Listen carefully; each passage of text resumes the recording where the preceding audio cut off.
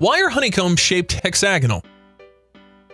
Is the honey we eat daily even real? If so, how can it be so cheap? But how can bees produce these large amounts of honey?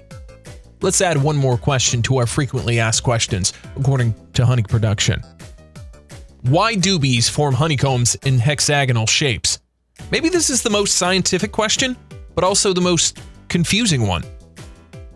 Can you imagine why honeycombs are hexagonal? Let's start with taking a look at the honey making process of bees. Undoubtedly, one of the most delicious tastes given from nature is the honey, and the production of honey is only one of all the useful work that bees do. Would you like to know how honey is produced? First, a small honeybee sits on a flower of its choice, which, in its judgment, produces the best honey. The bee sucks the nectar from the flower and mixes it with its own enzymes so that the honey begins to form. Its abdomen, that's used for this process, is different from the abdomen, which contains the bee's digestive organs. Let's get the reason why these sweet animals make their honeycombs hexagonal. In fact, it's not possible to look at honeycombs for a while and not find the answer. Do you know what characteristic a storage system must have in order to consume the smallest amount of material for construction and at the same time provide the largest space? Right, it must be a hexagon.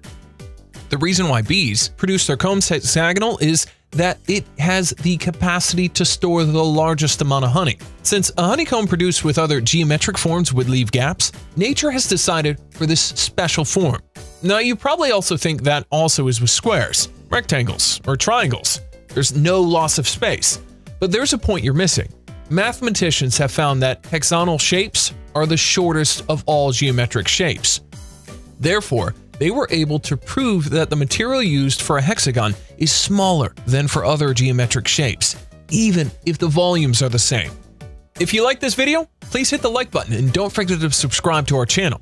Keep in mind that bees are very important for the ecological balance. Whether hexagon or square, everything they do is precious. Protect them.